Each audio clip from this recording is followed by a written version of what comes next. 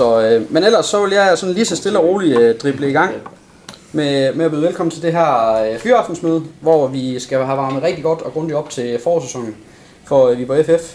Og det er jo en øh, fornøjelse at byde velkommen til det her stjernespækkede panel, kan man godt sige. Vi har en Europamester, vi har en Superliga-topscorer med mål i Champions League på samvittigheden. Vi har en mand, der rykker op i tro, øh, Superligaen tre år i træk. Så vi kan sige velkommen til oprykningsekspert og kriger, Jeppe Grønning. Topscorer og snu målrev, øh, målrev, Jeppe Kurt. Og så øh, manden med de taktiske tøjler, Dønne Mølby. Velkommen til jer. Tak. Øh, men øh, der skal jo også være velkommen til alle jer, der er mødt op her, fordi jeg er sikker på, at I er mødt op, fordi I har et, øh, et grønt hjerte, og jo rigtig gerne vil høre mere om, hvad der skal ske i Viborg her i, øh, i foråret. Og som sagt, I byder bare ind senere med, med de spørgsmål, som, øh, som I nu har øh, her ganske få dage før det hele starter. Øh, før at vi når til alle de her begavede spørgsmål, som I jo garanteret har, så øh, har jeg forberedt nogle forskellige runder, øh, som vi skal igennem først. Vi skal tage temperaturen lidt øh, her nu, hvordan øh, det hele ser ud i, i truppen. Vi skal også kigge lidt nærmere på klubbens ambitionsniveau, sådan øh, rent generelt, hvor vi er på vej hen. Og så har jeg forberedt også nogle små emner, hvor vi kommer til at gå lidt tættere på, på jer tre, hver, hver især. Øh, men jeg synes lige, for at komme rigtig godt i gang og for at varme lidt op, så, øh, så synes jeg, vi skal, lige, vi skal lige prøve at komme lidt i gang med en lille opvarmning. Og det er nu ikke fordi, vi skal låne rundt og tage armbøjning eller den slags ting. Men det er simpelthen fordi, at øh, vi skal lige have, have jeres stemmebånd på glæde. Så jeg har forberedt nogle øh, påstande først, hvor I kun må svare ja eller nej. Og så er der også nogle lidt skarpe spørgsmål, hvor jeg håber, I kan komme med nogle lidt øh, kuriøse svar. Så det tager vi som det første. Og vi starter over, i, øh, over på fløjen her med, med dig, Jeppe Kurt. Første påstand, den er til dig. Du slutter karrieren hos Viborg FF. Ja. Det var et klart og kontant. Jeppe Grønning, Ja. Viborg FF er for dig et springbræt til en karriere i en større klub i Danmark eller i udlandet. Hold da op. Det er svært at svare på. Det er... Det var ja nej. Ja. Så ja, nej. Øhm, altså, man drømmer jo altid om det helt store. Men jeg er glad for at være her, så det må blive et ja. Altså. Ja. Jamen, det, er- det er helt fair. Vi, vender, vi kan måske vende tilbage til nogle uddybninger senere. Det er med et af de emner, vi skal snakke om, ved jeg. Johnny, du er misundelig på din fætter Jans fodboldkarriere, men du kommer til at drille ham med trænerkarrieren til familiefesterne i mange år frem. Ja, Så tager vi nogle lidt mere øh, hvad man siger, underholdende spørgsmål, kontante spørgsmål. Og vi tager samme rækkefølge. Jeppe Kurt, hvilken forsvarsspiller er den mest irriterende, du har spillet over for? Hakkeland. Brede Hangel. Ja. Godt. Jeppe Grønning, hvilken midtbanespiller slår man så mest på? Øhm, Du må ikke sige dig selv. Nej. Øhm, da jeg var rigtig ung, spillede jeg mod øh, en træningskamp mod Jemba Jemba. Og der var jeg rigtig, rigtig ung, og han var på sit højeste, så der var forskellen ekstremt stor. Johnny Mølby, hvilken af dine trænerkolleger er lettest at blive uvenner med? Der er flere. Ståle. Nu må du gerne nævne Ståle kan man godt øh, blive lidt irriteret på en gang, men det kan man også ved Glenn Rittersholm. Det, og det er eneste af nogen, jeg har det, jeg har det ok med dem. Det er ikke noget med det at gøre, men øh, de har det lidt sammen med mange, og det kan jeg også godt selv have under, under kampen, så vi er ikke altid helt enige om, hvordan, øh, hvordan vi ser kampen. Godt. Jamen øh, lad os øh, gå lidt videre til det, som det, det skal handle om, øh, nemlig de første runder her i, øh, i interviewet, som det er nu. Nu har vi ligesom fået lidt i gang. Og øh, jeg synes jo, vi skal starte med det vigtigste. Det er det, der begynder på, øh, på søndag, nemlig forårssæsonen. Øh, og vi starter med dig, Johnny, den her gang. Øh, hvor føler du egentlig, at I står sådan, hvis vi skal kigge, at der er kun 3-4 der til, at øh, det er alvor mod FC Nordsjælland? Jamen, jeg synes, vi, øh, vi, vi står fint. Altså, jeg synes, vi har haft en, øh, en rigtig fin, øh, fin opstart, hvor, hvor holdet har arbejdet rigtig, rigtig hårdt og koncentreret med, med det, vi har sat dem til. Og øh, vi har haft nogle, nogle udfordringer rent defensivt med, med nogle af vores midtstopper, men, men de er kommet tilbage. Så, så det ser ud til, at øh, Feltmark ikke bliver klar, men ellers ser det ud til, at alle spillerne til rådighed til, at det går løb på søndag. Og, øh, Jamen, jeg synes, vi har spillet nogle, nogle fine træningskampe. Vi har fået et godt afsæt. Vi, øh, jeg synes, holdet er meget tydeligt i den måde, vi, vi gerne ville gribe kampen an på det der. Så, og så står man selvfølgelig altid, så ved man godt, at der er en forskel på at spille turneringskampe og træningskampe. Men jeg føler, at vi, vi, vi står rigtig godt rystet der. Omvendt så ved vi også godt, at der, der venter en svær opgave, men, øh, men vi føler os klar. Hvor meget betyder det her med, at, at det er måske ikke ligefrem de store skadesproblemer, I står med, men hvor meget betyder det, at, at de, du har næsten alle folk klar, kan man sige? Jo, men det er jo, det er jo positivt, og det, det er jo det, man gerne vil som træner, at, øh, at man kan have alle spillerne til rådighed, så, så der er den konkurrence, så vi også har det at, at skyde med ude for bænken, som, øh, som er ekstremt vigtigt, fordi mange af kampene de bliver så tæt, at hvis man er rigtig godt garderet derude, jamen så er det tit dem, der kan komme ind og være med til at gøre en forskel, så, så det, er, det er fint.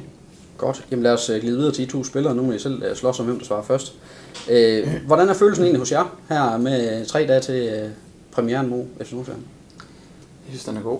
Øh, men det er altid lige lidt spændt op til første kamp, og man ved også godt, der er forskel på, på træning og træningskamp og træningskamp. Men jeg synes, øh, vi, står, vi står godt rustet. Altså, jeg synes, hvis vi går tilbage, så sluttede vi efteråret godt, og jeg synes bestemt ikke, vi står dårligere, end, end, end som vi var, da vi sluttede. Faktisk synes jeg, vi, vi er stærkere, hvis man kan sige det. Så, øhm, så vi har en god følelse.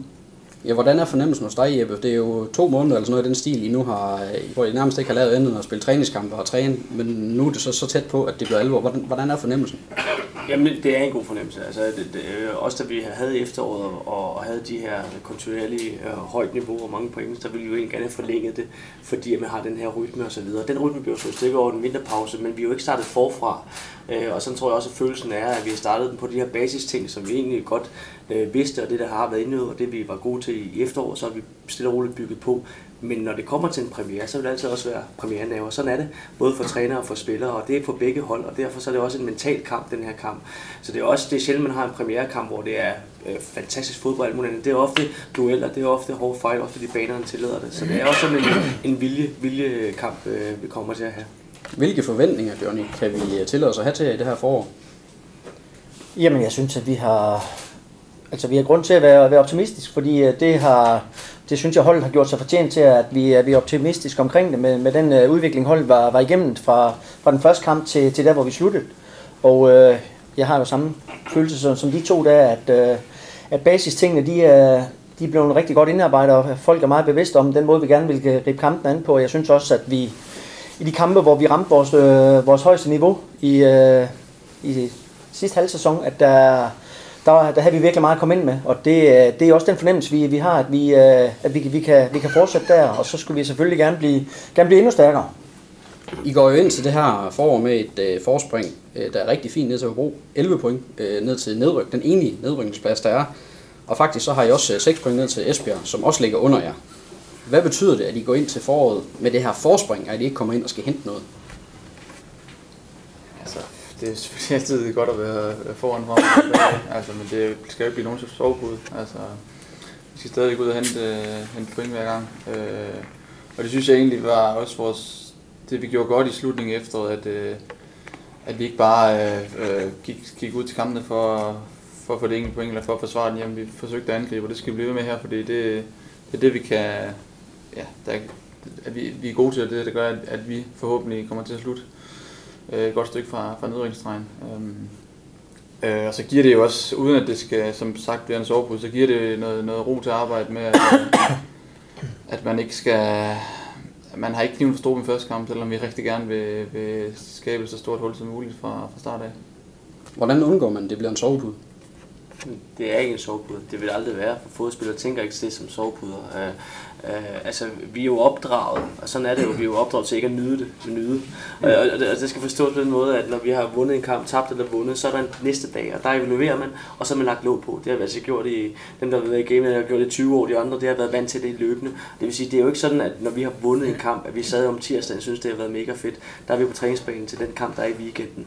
Og sådan er det jo også med det her, det bliver aldrig en sovepude. Det, der er det sværeste for fodspillere i eliteforhold, det er jo at nyde sejrene, fordi der er hele tiden en kamp næste gang, du skal præstere. Så, så når man kommer tilbage og kigger i paraplyen, og kan tænke tilbage over 4-5 år, så kan man godt nyde de der sejre og de enkelte stående ting. Men når man er i det, så er det ikke sådan, man går og nyder det. Der er det hele tiden næste, næste, næste. Hvor sikker føler I jer på, at I også er Superliga-hold efter sommerferien? Det må I gerne byde ind med nu. Altså, sikker jeg ikke, kan man aldrig være, men jeg synes, at, øh, at jeg har en rigtig god tro på det. Det synes jeg ikke er kun at bedømme ud fra, at vi har et godt øh, udgangspunkt i tabellen. Det bedømmer jeg egentlig mere ud fra, for det materiale, jeg synes, vi har, det den øh, form og stil, vi er på vej ind i. Øhm, så det, det får mig til at tro på, at vi har en rigtig god, øh, rigtig god mulighed, men ikke at vi nødvendigvis, som vi havde haft 3, 4, 9 eller 11 point ned. Det, det er mere det, det, vi går og laver. Det, det har jeg en rigtig stor tro på, det tror jeg også, jeg kan mærke, eller kan jeg mærke, at resten af spillerne og klubben har. Så, så det er egentlig det, der, der, giver, der giver troen på tingene. Det ville være århundredes kedeligste liga, hvis det var det ikke, så vi havde noget at spille for. Øh, og for vores er det jo at undgå nedrykning, så derfor giver det jo noget ekstra, at man hele tiden øh, altså kigger ned her og, og har de her intense kampe, og vi har bruger lidt anden kamp, vi har en kamp nu som også ligger nedad, og også jeg kan fortsætte. Øh, så så øh, det vil altid være enormt interessant og enormt spændende og enormt motiverende øh, at kæmpe om de positioner, specielt når der er så meget på spil, som i nedrykningen egentlig har. Men øh, netop for at gribe fat i det her, øh, I er jo reelt set tættere på FC Midtjylland på bronzepladsen, end I er på Hobro på nedrykningspladsen, hvis man kigger pointmæssigt på det. Hvorfor, hvorfor ser man ikke mere opad, end man ser nedad? Johnny plus Jamen, det, øh, det håber jeg da også, vi kan komme til. Men øh, det, altså, vi oprykker, vi skal være realistiske. Altså, det drejer sig om, at vi, øh, at vi kommer væk fra, fra den der streg, og gerne så hurtigt som muligt, så det giver den der ro og, og gjort, at holdet øh, den får den der frigjorthed, i stedet for at det bliver sådan noget, noget forkrampet noget, og, øh, fordi det er den måde, man udvikler sig bedst på. Og så er det enig i, at øh, hvis det lykkes, og vi er dygtige nok til at gøre det i de, de første runder, jamen så må man jo, øh, når det rent teoretisk ikke er mere muligt, at man kan rykke ned, jamen så må man angribe det. Og der er ingen tvivl om, at vi har en trup, der, der er sultne af gær, ja, der er ikke noget, de heller vil end slutte så højt som overhovedet muligt, men man er selvfølgelig også bevidst om, at, øh, at som oprykker, der vil det være, jeg synes, det vil være idiotisk at gå ud og, og oversælge varen. Hvornår er der ro nok på til, man kan, som Johnny han siger, angribe det lidt mere, så måske gå, øh, se lidt mere opad end ned? Men altså, det er jo en, en, en mærkelig diskussion, fordi at, øh, altså, vi vil da gerne vinde guld. ikke? Det vil vi gerne, men, men det, er jo ikke, det, er jo ikke, det er jo ikke formål, det er jo ikke realistisk i forhold til, hvordan Viborg og i forhold til FCK, Midtjylland øh, og, og, og, og Brøndby. Øh, så så vi, vi er jo i en anden verden, forstået på den måde, at vores målsætning er jo realistisk i forhold til, hvor vi er som klub på nuværende tidspunkt. Og det er jo stadig et ambition, og stadig høj ambition ikke at rykke ned, når man oprykker hold. Så den her diskussion med kick op, man vil altid gerne kick op, og vi glæder os der hver gang vi får point og så videre, men, men det er jo, øh, og efter 30 runder, og hvis vi kommer med tredje plads, så vil vi gerne stå her og sige, at det var fantastisk, og det var også det, men det var, målet var egentlig bare overlevelse, men det jo, præstationen i sig selv vil jo være lige så godt, om vi ligger nummer 3 eller overleve, altså forstå på den måde, om vi melder det ud eller ej. Så det er sådan mere en, en, en journalistspørgsmål, end, end det er noget, vi går og kigger på. For os har det fokus om at spille Superliga næste år, og vi vil gerne så højt op som overhovedet muligt, men fokus er hele tiden, at uh, motivationen er ikke at rykke ned. Så i dagligdagen går man jo også og, tænker på den, på den næste kamp, det er det, vi arbejder på, og den vil vi jo vinde hver eneste gang. Altså, så et eller andet sted, om man kigger op eller ned, det er jo ikke sådan, vi går og, og kigger hver eneste dag på tabellen og kun kigger, hvordan der er ned. Altså, vi arbejder på at vinde hver eneste kamp, og øh, om vi så kigger, hvor vi kigger hen, det er jo lidt ligegyldigt, men vinder vi nok kamp, så slutter vi jo et eller andet sted forhåbentlig højere i tabellen. Altså. Lad os øh, vente den til, at det handler lidt mere om tro, fordi øh, I har taget point mod Superligas nummer 1, mod Superligas nummer 2, mod Superligas nummer 3, mod Superligas nummer 4 og Superligas nummer 6. FCK, OB, FC Midtjylland, Sønderjyske og Randers. Og I har faktisk slået de fleste af dem. Går I ikke ind til foråret med en større tro på tingene, end I gik ind til efteråret som oprykker? Altså det synes jeg jo, at vi, altså jeg tror faktisk hele tiden, at vi godt har vidst, at vi godt kan når vi rammer dagen. Og, altså, vi er, det, det vi fokuserer på, og det kan øh, John nok også komme ind på, det er jo, at vi skal være svære at slå. Når man er svær at slå, når længere vi kommer ind i kampen, jo større chance for os, at vi vinder. Altså, det er jo ikke fordi, vi har scoret vanvittigt mange mål. Der er kommet hul på byen og så videre. Men vi har alligevel fået de point, der skulle til. Og det er jo fordi, vi er rigtig svære at slå. Og det er det, der vi har fokus på, øh, at, at det så er muligt at vinde de her fodboldkampe. Så, så det er jo også en, en, et, sådan et, et signal på, at selvom vi er overbryggerhold, og det er tophold, når de har andre budgetter, de andre spiller og alt muligt andet, så kan vi være rigtig svære at spille mod, og så har vi nogle gange dygtigheden og held til at, at, få de tre point eller et point, og det skal vi fortsætte med, men det er vi godt klar over. Vi er godt klar over, at vi har den effekt, og det er jo noget, vi skal arbejde videre på. At vi så vil være mere boldstyrende, vi vil flere ting, det er jo et andet element i spillet, som man skal bygge på, ikke? Men, men den her, det er noget af det, som vi som basis er nødt til at holde ved. Er I ikke stærkere hold nu, end I var dengang i sommer, dengang du overtog? Jo, altså det, det, det synes jeg jo, fordi i og med, at vi, øh, jeg har arbejdet sammen med holdet et halvt år, der er, vi, der er holdet og mig selvfølgelig mere bevidst om at, kende hinanden, og måde, måde vi vil gribe tingene an på. Så, så det er vi da helt sikkert, og det synes jeg også, øh, kampene i, øh, i efteråret, det viser, at vi blev, blev stærkere og stærkere. Og det er jo egentlig det, som, øh, som vi snakkede om før også, at det er holdet egentlig bare fortsat med ud for, ud for den strategi. Og det, og det er jo bare vanvittigt vigtigt, det der med, at man er, man er svær at slå. Fordi at, øh, det er et rigtig, rigtig godt fundament at have. Og så er det enig i, at, øh, at man vil gerne nogle flere ting, og jeg synes også, man så, man så tegninger til det i nogle af kampene, hvor, hvor tingene virkelig gik op i en højere enhed. Og kunsten, det bliver jo også, at vi på et eller andet tidspunkt bliver så dygtige, at, øh, at dem, som vi ligger og konkurrerer med, at vi kan, kan kontrollere dem og, og være meget, meget spilstyrende på hjemmebane og, og slå dem. Og der har vi stadigvæk en, øh, en udfordring foran os. Hvordan bliver man svær at slå? Det er udtryk, jeg hører I bruge meget. Altså, det kan du Hvordan bliver man svær at slå som hold? Så først og fremmest, så øh, for man skal tage en kamp, så man lukke mål ind. Så det handler om, at man har basic på plads. Øh, defensiven fungerer, arbejder hårdt for hinanden, så alle kender deres mål. det betyder meget også for mig som, som midtbanespiller, at øh, dem foran øh, Kurt øh, øh, styrer presset. Øh, altså resten af holdet ved, hvad de skal, øh, så vi alle sammen øh, er en enhed. Øh, så kommer der selvfølgelig også nogle ting med, jo flere mål vi selv laver, jo, jo, jo sværere er det også at, øh, for de andre at slå os. Men øh, først og fremmest så øh, holder man 0, så får man jo point hver gang, kan man sige. Øh, og det er det, vi, der er vores udgangspunkt, og vi arbejder rigtig meget på at få, få folk til at arbejde øh, for de samme ting og, og være bevidste om, hvad, hvad de skal gøre, når, når vi kommer ind og spiller. Øhm, og det synes jeg efterhånden, vi har, vi har godt, godt styr på. Hvor let er det at finde den her balance? Fordi man kan jo også blive så svær at slå, men også selv for svært ved at skabe noget. Altså, hvor let er det at finde den balancegang mellem at gøre det svært for modstanderen, så også er muligt for at skabe noget selv? Det er ikke altid lige net, det er det jo ikke. Altså, det, og, og det kan man jo også se øh, i, i, i den måde, at vi måske ikke altid har, har haft scoret så mange mål, men til gengæld så har vi stadig har fået point. Ikke? Øh, men det er jo øh, omvendt ikke vigtigt for os, hvor mange mål vi scorer. Det er vigtigt for os at få point, og det er det, der er lidt forskel på underholdende, og så det, som vi egentlig skal, nemlig få point, ikke? og det er det, vi bliver bedømt på. Så det er en svær balance, om jeg synes, vi bliver meget bedre Altså, men det er også nogle af de spillere, der er kommet ind i løbende. Altså, det er nogle af dem, som også individuelt kan sætte en mand eller to, hvor at det gør os andre bedre, fordi at så kommer der, øh, kan man sige, rum til os, vi kan finde, og der kommer øh, overtalssituationer osv., og, og, og kunne lave et, et, et hold, hvor der er individualister, hvor der er nogen, der arbejder som kernen på holdet osv. Det er jo en balancegang, og, og det, det synes jeg, at vi har formået, specielt slutningen, at, at det fungerer rigtig godt. Jeg synes, at hvis jeg skal følge op på det der, jamen, så synes jeg, at vi har et hold, som, øh, som er dygtige til, at når de får nogle beskeder, altså øh, under taktikken, at de er dygtige til at tage det med ud på banen. Og det er der ikke alle spillere, der er, at der kan, der kan overføre det der i, i praksis. Og det, det tror jeg er en af nøglerne til, at vi, øh, at vi har været svære at håndtere for, for nogle af de gode hold, at, øh, at spillerne har været i stand til at tage de ting med ud, som, øh, som vi har snakket om, og, og udføre dem. Fordi at, øh, man er ikke øh, bedre end modstanderen til, og der har vi været dygtige til at, til at slå nogle af de andres øh, spil i stykker. Som regel så er det jo så også det, når vi starter en halv sæson, så er der måske nogle nye spillere, der popper op. Nu er det ikke fordi, der er sket vanvittigt meget på transfervinduet i, i Viborg. Der er sket lidt. Hvad er det for nogle spillere, vi skal glæde os til, øh, der måske popper op hos Viborg i den her sæson? Jamen altså, noget af det, der har været vigtigt for os, det er jo, at øh, vi har været meget, meget tilfredse med den, øh, den base, der har været på holdet, og den udvikling, holdet har været, i, været, i, været igennem. Og det er stadigvæk en rigtig, rigtig sulten trup, synes vi, og derfor føler vi ikke, at, øh, at vi har ramt overlæggerne endnu. Og så har vi valgt at tilføre holdet med, med, med det, som vi øh, var muligt inden for, inden for vores øh, rækkevidde. Så øh, Jamen det, det er jo svært at sige. Altså det, det er stadigvæk holdet, synes, synes jeg, der er kollektivt, som er, som er vanvittigt vigtigt. Og så er der nogle spillere, som, øh, som, som sidste sæson tog nogle, nogle gevaldige step frem. Pallesen havde stort set ikke spillet øh, sæsonen inden. Thorsen hævede hans, øh, hans niveau. En uh, Rask kom lige pludselig tilbage. En Ræse, som er hentet op i Jammerbugten, uh, tog lige pludselig et par step frem.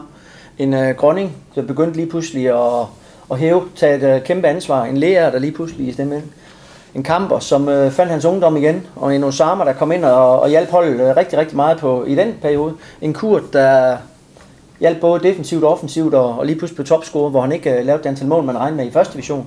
Og en Deblis, som, øh, som efter en lidt svær start begyndte at finde form. Så det, var, det er jo et eller andet sted, alle de spillere, der, der var i stand til at, til at løfte. Og så, det håber vi selvfølgelig, at de kan fortsætte med. Det håber vi selvfølgelig også, at, øh, at den tilgang, vi har fået i de nye, som vi, er, som vi er meget tilfredse med, at de, de kan være med ind og lave en, en endnu større konkurrence om, omkring holdet, men også har nogle andre kompetencer end dem, vi har i forvejen, og, og derfor skulle vi gerne blive, blive en endnu stærkere enhed. I render jo og træner sammen med, med, med, ja, med hele truppen øh, til daglig. Hvem virker rigtig, rigtig skarpt lige nu her? Det, det er sjovt ikke, fordi jeg, altså, jeg synes jo ikke, der, der er jo meget de individualister, det er der fodbold og så videre. Det er dem, der afgør fodboldkampe. Det er dem, der siger, at der skal være plads til alt muligt andet. Jeg synes ikke som sådan, at Viborg FF har den Måske især, når han har topform. Men ellers er det ikke individualisten, der, der afgør tingene for os. Men jeg har så været med til at vinde mesterskaber, hvor det er holdet, der vinder det, og ikke en individualist, ikke en eneste individualist på holdet, som, som gjorde den afgørende forskel. Det var holdet, der gjorde det. Og sådan fungerer vi egentlig også som homogen trup. Altså det er meget, øh, de tre drenge, der er kommet ind nu her, udover at øh, de faktisk øh, er nogle fantastisk dygtige øh, fodboldspillere, og de har, de har bidraget til kvalitet, så er det også nogen, der passer utroligt godt ind i truppen. Og det har også været en vigtig del af det, når man er som Viborg, og den kultur, man har skabt, det vil man gerne fortsætte. Så øh, selvom det blev på hans gode dage kan gøre forskel på mange ting, øh, så øh, synes jeg egentlig, at, at det er bredden, og det er, det er den homogene trup, som gør det i Viborg, og ikke individualisterne. Så Er der, er der nogen, der her nu, øh, man kan sige, ser, ser ud til at være, kunne lave sådan en palle, sådan at kunne lave en race, som, som overraskede måske lidt efter, og der er nogen, der, der ser ud til, at- til at gøre det lige nu? Altså det, det er jo altid svært at, at spå om, men jeg synes, det vigtigste, som vi også har gjort her i, i transfervinduet, det er at holde, holde fast på, på de ting, på, på stammen og på, på, på truppen, fordi at vi har fået skabt et, et miljø, som langsomt er blevet skabt, øh, hvor, hvor der er plads til, at folk kan udvikle sig. Og det tror jeg ikke heller ikke, det er tilfældigt, at der er så mange spillere der efteråret, som man måske ikke har set på det niveau her, øh, og måske ikke havde regnet med at kunne, kunne tage sådan en step, men har gjort det, fordi man har fået et miljø, hvor der er plads til det, og derfor er det også svært at spå om, hvem der lige er, bliver den næste, der, der, der bryder igennem, men jeg er ikke i tvivl om, at, øh, at der nok skal komme nogle, nogle overraskelser, fordi at, øh, at, at vi har en rigtig god øh, træningskultur, øh, og det er også det, de tre spillere, vi har fået ind, de bidrager til det. Øh, det er alle sammen spillere, der har en god indstilling til tingene, og så, så presser man hinanden, og så, så rykker folk sig også. Øh, så, så hvem og hvad det, det lige bliver, det, det er svært at spå men jeg er ikke i tvivl om, at, øh, at vi har et miljø, der, der er frem, øh, hvad kan man sige, fremskynder øh, spillere, der kan sig. Hvor let en klub er altså en klub som VFF at udvikle sig i, det er måske også mest til, til, til dig på nu. Hvordan er det egentlig at udvikle sig i, i VFF? Fordi man har jo også det her eller andet sted konstante pres, som vi også har talt om med, at, at, at der er jo altså en streg nedefra, som man helst skal holde på afstand. Altså, hvor let er det egentlig at få plads til at udvikle sig som, som yngre spiller? Nu har jeg ikke prøvet så meget andet i, i, i altså professionelle klubber som sådan, så det er svært at sammenligne, men altså selvom, som du siger, der er, der er et pres, så er vi jo stadigvæk en, øh, i forhold til medieomtale og sådan noget, en, en, en lille klub i forhold til nogle af vores konkurrenter i, tab- i tabellen, så øh, på den måde er der stadigvæk ro. Der er jo ikke øh, 100 folk, der står til hver træning og ser på hver eneste ting, man, man gør, så øh, tror, der er, der er ro til, at øh, folk kan udvikle sig, øh, og samtidig så... Øh, Altså, der vil altid være pres på i fodbold, uanset om du ligger i bunden eller ved mesterskaber, eller selv hvis du ligger midt i rækken ikke har så meget mm. tilbage af sæsonen spil, så har du stadigvæk en, en, går du stadigvæk på, til, til, på banen for at vinde kampene, så der er altid pres på, det tror jeg folk øh, er vant til at leve med. Altså, men, men øh, ja, det er en solid klub, synes jeg, hvor der er plads til udvikling. Hvor er det lettest at udvikle sig hen i? I en klub, der kæmper om guldmedalje, eller en klub, der kæmper om nedrykning? Øh, det er faktisk altid det nemmeste at, at udvikle sig på et godt hold. Du bliver altid bedre at spille på et godt hold, så det er miljøet. Men altså, øh, okay, jeg går under hver være 21 igen, ikke? så det er jo et godt sted for, for spillere at komme, men, øh, men det er, altså trykket i Viborg er jo alt andet lige, er jo anderledes, end hvis du kommer til nogle af de større klubber. Øh, men der er trykket i ungdomsrækken, hvis du kommer op, det er jo også større. Øh, så, så der er ikke nogen formel for det. Altså det, det kan man sige, at der hvor at, at andre klubber er lidt foran, det er deres talentudvikling for ungdomsrækkerne, som er på et højere niveau på nuværende tidspunkt. Det vil sige, at de talenter kommer op i, i, i Superliga-truppen osv., også er tit et lidt højere niveau, når det er. Ikke? Men det er jo noget, man arbejder meget på, øh, og kvad den krise, der har været økonomisk, og, og ikke noget, man virkelig har prioriteret, øh, og været nødt til at, at, at underprioritere i, i et stykke tid. Ikke? Men, men når du kommer fra øh, klubber, der er større øh, og kommer til Viborg. Så, øh, og det tror jeg også, de spillere, vi, vi hiver ind jo, som også kommer fra andre klubber osv., de har enormt let ved at falde til. Det er en del af truppen, det er en del af den kultur, det er træningstingene også og, og det hele, så det er sådan en samsug af flere ting. Jeg synes, det er en god klub at komme til. Lad os øh, gå lidt videre i den her snak. Øh, det, der sker efter den her sæson, det er jo, at Superligaen bliver udvidet til, til 14 hold, øh, og der sker alverdens ting og sager som med slutspil og sådan noget, som jeg tror faktisk, der er så indviklet. Ikke alle, der helt har forstået, hvad det er, hvordan det bliver, bliver afviklet for næste sæson. Hvor vigtigt er det at bide sig fast i Superligaen netop den her sæson, i forhold til, hvis man, hvis man nu skulle være så uheldig at rykke ned? Jamen det er jo altid, det er jo altid vigtigt at, at, at blive sig fast, og, og man har selvfølgelig en større mulighed den her sæson, fordi at der, der, der, i den efterfølgende sæson kommer, kommer der flere hold, og øh, så kommer der nye, nye strukturer, hvor man, øh, hvor man vil få flere chancer for, at- ja, for at blive der, men øh, og det er jo tit sådan, det er sket, men, men jeg tror, de sidste øh, par sæsoner i Holland for eksempel, at dem, der er kommet nedefra, har de slået dem, der lå i den bedste række. Og øh, er der kommet tre oprykker op, øh, stort set, de, det, ved ikke, det ved du nok lidt mere om Holland fodbold, end jeg har gjort, men, øh, Det er sgu lang siden. men, øh, men, det, men det, det tror jeg, at øh, tingene de udvikler sig jo også, øh, også dem, der kommer nedefra, og det har første division også gjort her i Danmark i, gennem, de, gennem de sidste øh, mange år. Men øh, Viborg har en rigtig god mulighed for det, hvis vi øh, fortsætter den, øh, det arbejde, der, der bliver lagt i for dagen derude. Og, øh, og det er jo et eller andet sted, det der, der tændte mig for, for at komme til Viborg, at i den der kontraktperiode, jeg har, at, øh, at der skulle Viborg være en, være en fast del af, af Superligaen. Det har jeg selvfølgelig en tro på, at, at det kan lade sig gøre. Og øh, med den halv sæson, og det der hold de leverer, jamen, så har jeg selvfølgelig en kæmpe tro på det. Men øh, jeg tror ikke som end, at det er mere vigtigt til den kommende sæson, end, end det har været i de, i de foregående sæsoner. Det er, der er vanvittig stor forskel på at spille i den bedste eller den næstbedste række. Så det bliver ikke svært at komme op? Altså, hvis Jamen, man... kan jo sige, at der, altså, der er jo en, der ned, hvilket procentvis gør det jo mindre sandsynligt, men rykker. Men der er også tre af de gode hold, der rykker op for, så, så næste år må jo også være så en nemmere tur op, direkte op, hvis det endelig er. Så det, det, det udligner nok hinanden, hvad det angår. Mm. Er I, er I overhovedet begyndt at, at kigge på, på den struktur til næste sæson og tænke over, hvordan det er egentlig det er? Eller er det... Ja, jeg tænker kun på det, når du stiller spørgsmål. Ellers, øh, ellers fylder det ikke ret meget i min, øh, min verden. Det må jeg altid indrømme. så parkerer vi det, og så Ja. satser vi jo så på, at vi, øh, at vi skal sætte os ind i det efter, efter sommerferien, Ja. hvordan de her slutspil de, de er strikket sammen. Fordi vi er også godt på vej over til, til det næste emne her, som øh, jo handler lidt om øh, ambitionerne på lidt længere sigt i, øh, i Viborg. Øh, nu har vi jo også hørt jer tale lidt om, at Viborg var en klub, der først nu er i gang med ligesom at skulle bide sig fast, etablere sig i Superligaen. Hvornår er det egentlig tid til at turde drømme om øh, mere end øh, bare det her med at overleve i rækken, som er fokus lige nu? Jamen altså, jamen, det, det- altså da jeg kom til, det tog halvanden år siden, øh, og nu, og det kan jeg godt referere til, fordi Ole er jo så ikke længere, der, øh, der var, det, der var en af de ting, som ligesom tændte mig, det var, at nu skulle vi på en rejse, nu skulle vi øh, se, om vi kan øh, øh, få Viborg tilbage i Superligaen og etablere sig deroppe. Så det var sådan rejsen. Øh, jeg tror, at når min tid er over i Viborg, så begynder man at se højere end at etablere sig. Altså, det er om øh, to års tid, der er kontraktudløb i hvert fald. Ikke? Og, og, og, og der kan man sige, så har man et, et år her, hvor man gerne vil over, så har man et år mere, der skal man finde nye, nye strukturer og alt muligt andet etablere sig. Men jo flere gange du kan etablere sig, og det er derfor, vi snakker om ikke at rykke, jo mere fundament har du også for at bygge på, jo mere attraktiv bliver du for øh, spillere at komme til. For en af de ting, der er en problemstilling, det er jo også vores faciliteter, der hvor vi træner. Altså det er jo sådan, at fodboldspillere i dag går, at det bliver jo en livsstil, og, og det kommer vi nok også tilbage til i forhold til at se. Og mange af de ting hører jo også med til ens job. Øhm, og så snart de nye ting også står klar, der vil det også blive endnu mere attraktivt at blive. Og så det er en proces, man er i gang med de nye ting på stadion og så videre. Men det er ikke noget, der bare lige kommer. Det skal bygges op stille og roligt. Og derfor at, at, at, er det jo vigtigt, at man i den periode, hvor man bygger op, stabilisere sig i Superligaen, så det økonomiske grundlag også er i orden, og så kan man bygge på efterfølgende. Men, men at bygge det hele op på, det vil være et voldsomt sats, og det tror jeg heller ikke ligger til øh, Viborg FF's kultur. Altså jeg prøvede det selv, da jeg var i Horsens. Altså, da, jeg, da jeg kom til Horsens, der hvor vi skulle, det første år rykkede vi op, og øh, der skulle vi have fat i nogle spillere. Og der var det ikke særlig attraktivt at spille i, i AC Horsens der. Og øh, nogle år efter, hvor, hvor vi gjorde det rigtig godt, jamen der, der var der helt anderledes øh, udbud af, af spillere til, til os. Og det, og det er jo også, det, vi, skal jo, vi skal jo få skabt den der øh, synergieffekt, der gør, at, øh, at der bliver lavet nogle rigtig gode resultater, der bliver spændende, hvor folk gerne vil være en del af. Og det bedste markedsføring, vi kan få, jamen det er det ved at spille godt, men det er også meget det der med, hvad er det for en kultur, vi har i dagligdagen. Fordi de spillere der, de snakker også sammen med de andre spillere i de andre klubber. Og når der bliver snakket godt for det, jamen så, så vil de gerne lige pludselig til, til os. Og så er jeg meget enig i de øh, faciliteterne i dag. Det har, det har rigtig meget at sige, og det er, det er vi bevidste om.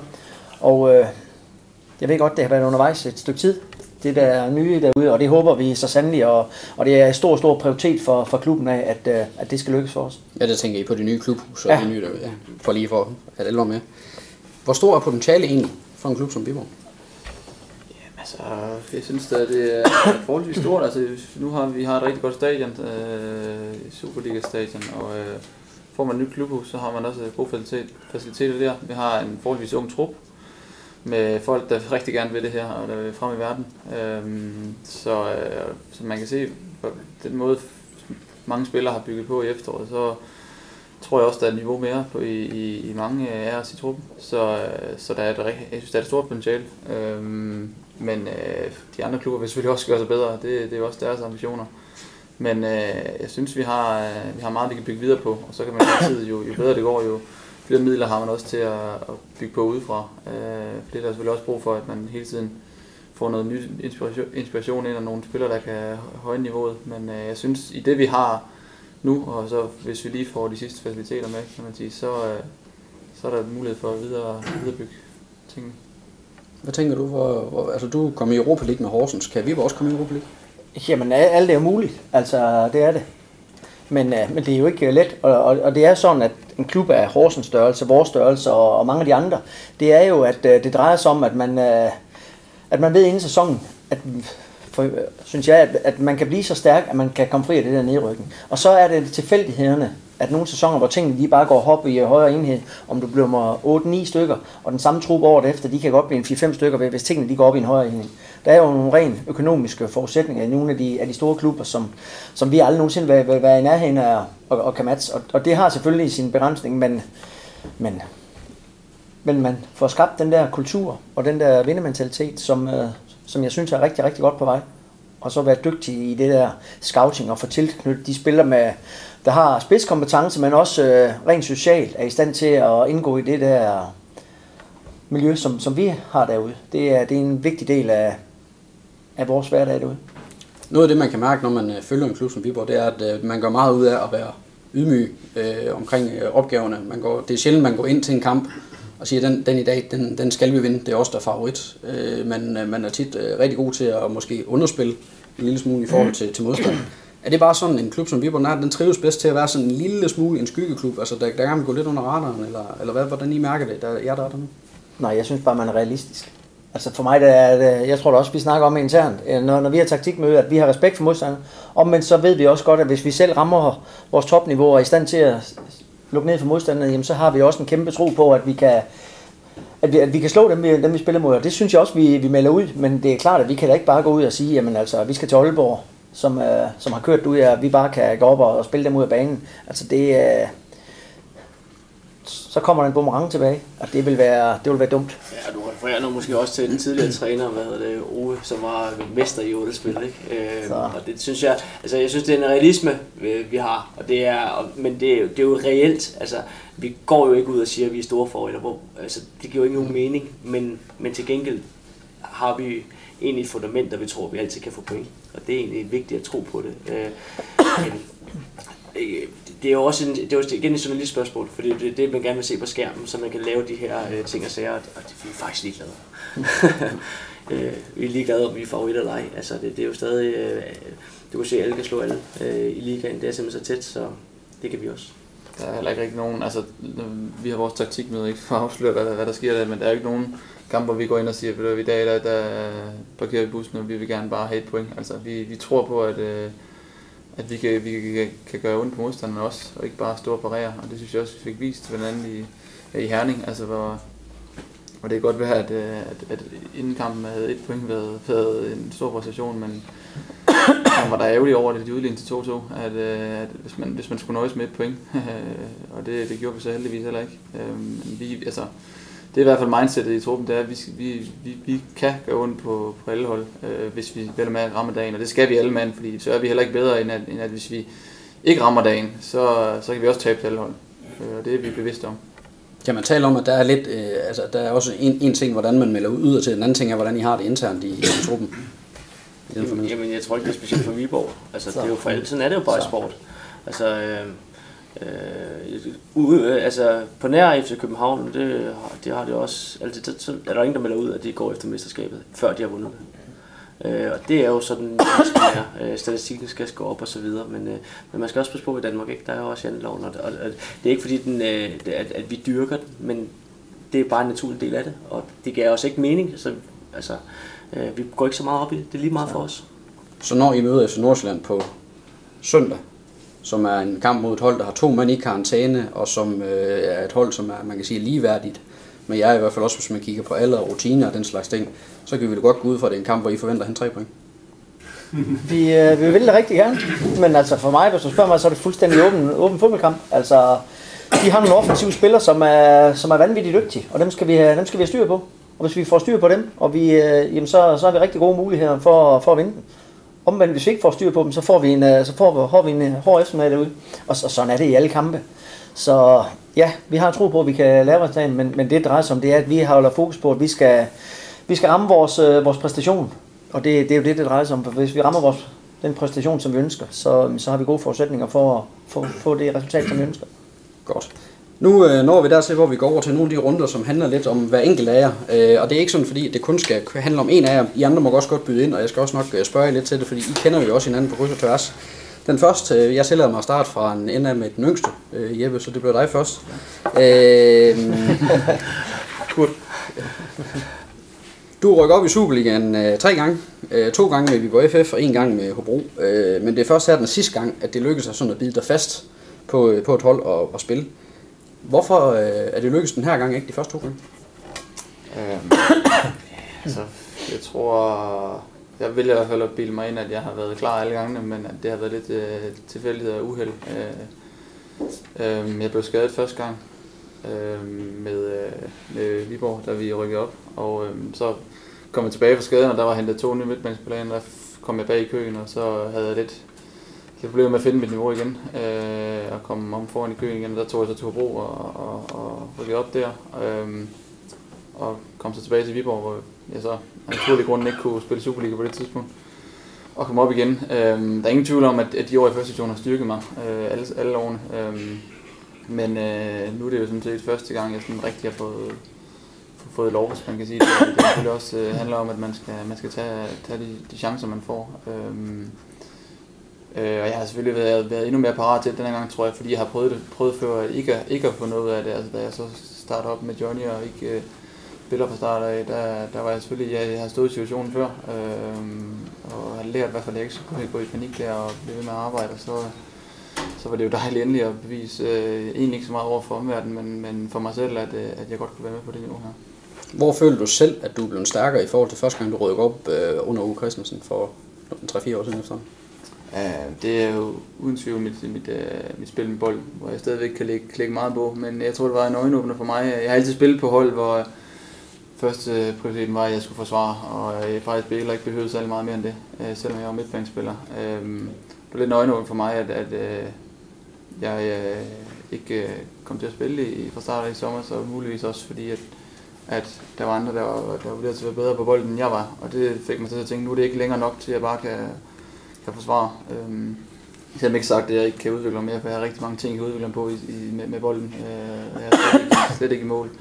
Men det, øh, det fik mig til at tænke, at nu, nu skal jeg virkelig gøre noget ved det her, og arbejde hårdt for det øh, på det punkt. Og der synes jeg, at løbet af efteråret har rykket mig meget, øh, men øh, kan klart lægge meget mere på. Johnny, hvorfor har Jeppe bidt sig fast den her gang? Jo, men det er han. En, øh, altså, han har mange styrker. Han er, han er meget, meget bevidst om, hvad han kan som spiller. Og det er, det er en stor kvalitet, at man, øh, man ved, hvad man kan. Han ren positionering på banen, der er han fantastisk dygtig. Han sætter nær i at forsvare, og det er der ikke øh, ret mange af de øh, spillere, der gør i dag. Og så er der ingen tvivl om, at han er, at han er villig til at, til at blive dygtig på nogle af de her ting, som, som jeg gerne vil have. Han, er, han bliver dygtig til at arbejde stenhårdt med dem, og, øh, og der er det enig i, at øh, der rent fodboldmæssigt, der er der, der er der fremgang, men, øh, men det skal vi jo have, have flyttet yderligere. Han er jo også begyndt at slå lange afleveringer nu, diagonaler og det der. Og det er jo... Øh, det, det er jo fedt, fordi hvis man har nogle midtbanespillere, der kan det, slå de der diagonaler, der bryder de der kæder, jamen altså, det, øh, det går bare ondt på modstanderne, og øh, så jeg synes, han har lagt på, men øh, det skal jo ikke kan stoppe her.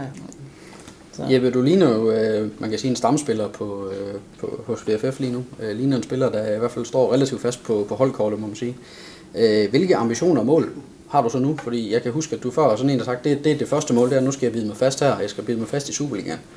Nu har du bidt dig fast i Superligaen. Hvad, hvad, er så, øh, hvad er så det næste mål?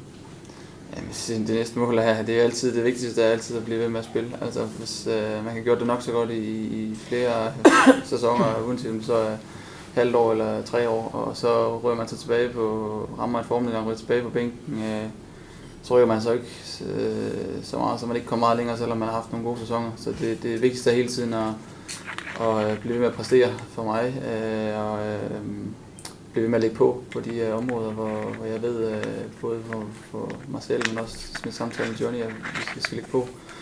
Så der er ingen tvivl om, at jeg har det altid lidt svært med uh, sådan store mål og sådan, og selvfølgelig drømmer vi alle sammen om at komme på landshold og komme til de store klubber og, og, og tjene mange penge, og hvad nu ellers er i fodboldverdenen, men, men det, det kan også hurtigt blive, blive, blive bare en sludder og en masse snak. Altså det, det handler om det, man gør hver dag, og det, man øh, beviser om søndagen. Så, øh, så længe jeg føler, at jeg rykker mig, jeg har da også nogle, nogle små øh, delmål, som jeg tager, men, men det bliver ikke mere end et halvt år gangen, fordi at, øh, at så, så bliver det for overskueligt, og så kan man, man kan drømme om nok så, nok så meget, men øh, det handler også om at præstere, det, det er først på sig. Så godt slipper du for yderligere. Det var den, du kom til at svede over, den her påstand om, hvor langt du tør drømme, men øh, det har du vel lidt ind på på den måde. Lad os gå videre til, øh, til den næste. Okay, jeg, vil, jeg, vil, jeg vil gerne tilføje noget, jo, fordi at, at, øh, så er at, at uh, Jeppe Rønne, han er jo meget uh, intelligent og reflekterende. Og det gør jo, at Øh, og noget af det, som, som mange unge mennesker kunne lære sindssygt meget af, det er, at Grønning ved godt, hvad han er god til. Det gør han i kampe. Det han vil træne, og det han ikke er dygtig nok til, det gør han til træning. Og det bliver han ved med. Altså, øh, og Grønning er et skoleeksempel på, at fodboldspiller ikke bare er et job, det er en livsstil. Og det er dag og nat, det er tanker, det er forståelse, det er pleje sin krop, det er hård træning, det er restitution, og det er det, det er også i pausen og alt muligt andet. Og, og er alt for lat, det, og det er Grønning også klar over, at det er, jo ikke, det er jo ikke det boldtalentet, Grønning står her for. Det er simpelthen hårdt arbejde og, og spilforståelse. Den her måde, hvad der skal til i en professionel verden. Det er også det, der gør, at, at alle spillere har formdyk. Jeg har haft mange formdyk. Det har alle spillere levet professionelt. Ellers så spiller de i Real Madrid og alt muligt andet. Men det, der gør det, hvor hurtigt du kommer op igen. Og der Grønning, han gør jo altid det, at når han får en lille øh, knækker, som Jens Arbejde arbejder indehår, det skal han fandme ikke betyde. Og det er jo derfor, han står her i dag, og det er derfor, han spiller hver gang, og det er derfor, han øh, bliver endnu bedre og udvikler sig. Det er jo fordi, han har alle de ting, som mange andre, som har måske endnu større end altid smidt på gulvet i talentovergangen eller andre steder, og så ser man aldrig igen. Øhm, så det er jo også en personlighed og en karakter, som er vigtig at have på et hold, fordi det er jo også et forbillede for mange af de unge. En anden ting, det er jo, at da han ikke var med i starten, der er der jo, der Grønning, han havde jo ikke brug for en forklaring. Han var, det skulle han nok selv vise, ikke? og det siger jo noget om den mentalitet, han har. At, og det er, hvor mange af de unge i dag, de skal, de skal have en forklaring, og de skal nøses lidt, og det der, det har han ikke brug for. Han skal, han tager skeen i den anden hånd, og så, så giver han en ekstra skalle. Og det er jo også derfor, at som træner, der ved man jo godt, det er ikke altid det lykkes, men du kan i hvert fald regne med, at, at du har en mand, der står derinde og, og offer sig 100% for, for holdet derinde. Godt. Lad os uh, lukke uh, snakken om Jeppe Grønning her, men det var i hvert fald meget interessant at også at få lidt insights fra, fra tætteste hold omkring, hvad det er for en fyr. Så går vi videre til en anden Jeppe. En, uh, Nu lidt, får du så mange praktikanter søge. næste tid. vi går videre til en lidt ældre udgave end Jeppe, uh, Jeppe ja. Kurt. Uh, men uh, godt nok en, en af de erfarne spillere, en af dem, der har rundet uh, 30 i, i truppen, men også en spiller, som uh, måske er ved at få sin, uh, få sin anden ungdom. Øh, Du er topscorer i klubben lige nu, og, og vurderingen sådan fra flere af træningskampen, som, som jeg har, har, har læst, det er, at du har virket rigtig stærkt spillende, øh, og generelt øh, strutter, energi og spilleglæde, tror jeg, der er en, der har, der har beskrevet det som. Er det også øh, herinde, der er fuldstændig skæv på, at man ikke kan se fodbold, siden at det, det det, vi Nej, vurderer? jeg vel? skulle, øh, nej, jeg skulle være glad for både min tid i Viborg, men også bare øh, øjeblikket. Altså, jeg, jeg nyder virkelig at spille fodbold igen. Jeg har haft en periode, hvor jeg synes, det er svært ved at finde det, og det har jeg altid. Altså, det er sjovt ikke, fordi at jeg har altid været drevet af lysten. Det er lysten for mig, der driver værket, og, og, og det kommer og går, men jeg havde en lang periode, hvor jeg egentlig ikke følte, at jeg var på det, det rette element, og, og, øhm, og der kan man sige, at den lyst, den glæde, den har jeg tilbagefundet. Det, der, kan, der er mange elementer i det, men det er jo også fordi, at jeg får ny inspiration og øh, ny position og får en anden rolle, og, og, og øh, det har givet mig sådan en, et, et, et ekstra boost, som, som egentlig øh, gør hverdagen meget sjovere. Øh, så jeg, jeg nyder i øjeblikket at, at spille fodbold helt vildt, så det, det er fedt. Ja, fordi der var jo et øh, forår, sidste forår, så ret tungt ud i første division, hvor der både var lidt uh, ture på bænken, og ellers så uh, ingen mål i løbet af en halv sæson eller Ja, sådan ting. ja, men- Hvordan var det egentlig at komme derned, altså at have et af de her formdyk? Jamen, Øh, øh, jeg holdt min krop ung, fordi jeg brugte, jeg brugte den ikke så meget, så det var jo helt perfekt. Øh, men jeg, jeg, jeg havde faktisk glædet mig til at, at prøve kræfter om første division. Øh, men jeg må, må sige, at jeg synes ikke, det var så sjovt, som jeg egentlig troede, det ville være. Jeg, øh, der kan være mange ting i det, øh, men, men, øh, men det var en anden slags fodbold, og, og, og for at sige som er, altså øh, fysisk, så, så der har jeg sgu svært ved at stå distancen. Det var, det var meget, føler jeg, meget mos og meget øh, øh, tætte rum, og vi havde jo Altså jeg lever også meget af at finde mellemrum og, og, og pasninger på jorden. Sådan. Det dyrkede vi ikke så meget øhm, og så bøger jeg lidt til overs. Og så øh, er det jo også, og det har jeg prøvet mange gange, altså, altså træneren vælger andre løsninger øh, og bringer mere fysik. Og, øh, og det, det, var okay. Jeg, jeg var ikke, øh, altså, det, jeg kendte godt min rolle. Det er også det Viborg. Jeg behøver ikke nødvendigvis spille hver gang. Men så længe jeg gør en forskel til træning og være en del af det, øh, gør forskel også til kampe, så, øh, så øh, er jeg faktisk fint tilpas. Så jeg havde det fint, men, men spillemæssigt, der, øh, der brugte jeg mere tid ude end, end på banen. Hvad er det, der er sket med, med Jeppe siden det her forår, hvor du også fulgte øh, Viborg lidt øh, fra sidelinjen, hvor, øh, hvor han ikke, øh, ikke lignede en mand, der kom til at score øh, ret mange flere mål i Superligaen i hvert fald? Nå, men det er ingen tvivl om, at Superligaen passer bedre til, til Jeppe at, at spille i. Og øh, jamen, så har han jo fundet glæden. Og det er jo, øh, det er jo alfa og omega, når man, øh, når man spiller som ham og har den alder. At man, man finder gnisten til at, ja, til at have lyst til at spille. Fordi øh, han er, der er jo ikke nogen tvivl om, at øh, med det, øh, han har præsteret i hans karriere, at han er, han er en rigtig, rigtig dygtig Superliga-spiller. Og det er jo... Øh, det er jo ikke noget, altså jeg skal jo ikke lære ham, hvordan han skal løbe ind i feltet, og det der, det, øh, det ved han jo meget bedre, men, men vi skal motivere ham og finde den glød igen, der gør, at, øh, ja, at han har lyst, lyst til at, og så, jamen, så har han en vigtig rolle for, for truppen, altså, og det er både på banen og uden for banen, at øh, der, er han, øh, der er en rollemodel, og når han går til, til de andre, så er det med, med kløgt, fordi han har opnået hans karriere, men han er også, øh, han er en voksen mand, når han, øh, når han går til, folk, og det, øh, det har truppen stor respekt for, og det har jeg også som træner. Jeppe, hvor meget af det her, kan man sige, nu sagde du selv, at det var måske ikke så sjovt at være nede i første division, så hvor meget af det, at øh, det var måske ikke så spændende at spille en søndag eftermiddag i Gladsaxe Idrætspark, i forhold til at spille en søndag eftermiddag i parken, hvor meget har det med det at gøre, hvor meget har ja, med, med også med positionen at gøre? Når du smider sådan en gammel travhest ind i Venezia, så er det jo sjovt at spille for de store. Altså det er det jo. Øh, og, og, jo større det er, jo sjovere er det. Men øh, det er jo ikke helt skylden. Det, de har, altså fodboldmæssigt, så, så, så passer mig bedre, og det er jo rart nok at finde ud af det også, så jeg er glad for, at vi rykker op med det samme. Hvad er det så, det, altså man kan sige, der har ændret sig rent taktisk, rent spillemæssigt her i øh, også, også de sidste, sidste halvår, hvor det har fungeret ret godt? Jamen, øh, er, rent taktisk spillemæssigt er sket utroligt meget, øh, vanvittigt stor forskel. Altså, vi havde jo meget bredt, bredt, bredt, bredt, øh, øh, og, og øh, i første division, og øh, øh kampbolde og slås og alt muligt andet, og hvor vi... Øh, i Superligaen har meget boldposition, altså vi vil gerne have boldposition, vi vil gerne gøre ondt på dem i mellemrum, vi vil gerne komme øh, i dybden, vi vil gerne, øh, altså, og, og, og det passer at finde de her små rum, øh, komme i feltet, indlæg og så videre, så øh, det passer mig rigtig godt, og så, og så løsne energien, det at se de store stadion igen, og det at spille mod de bedste, det synes jeg bare er fedt. Jeppe, du er en af dem, der også kan, kan læne dig lidt op af en mere erfaren øh, spiller som, øh, som, som Jeppe Kurt. Hvad, hvad betyder han for, for truppen, sådan rent uden for banen også? Han betyder rigtig meget. Altså, det er klart, at når en, en mand har prøvet, prøvet rigtig mange ting, altså, jeg har også, øh, han er lidt ældre end mig, så jeg har jo set ham igennem mange år spille fodbold. Øh, en gang score på Old Trafford også, det er en bedrift i sig selv øh, det var jeg ikke helt tilfreds med på det tidspunkt. Øh, men øh, men det, det, det giver noget respekt, og det gør, at man lytter, når han siger noget. Øh, lytter selvfølgelig til alle sine holdkammerater, men øh, lytter en ekstra gang, når han, når han siger noget. Øh, og så synes jeg også, at øh, noget af det, jeg ikke ved, om alle øh, tilskuere ser, øh, selvfølgelig ser alle hans øh, flotte hovedstødsmål i efteråret, øh, alle dem, han har lavet.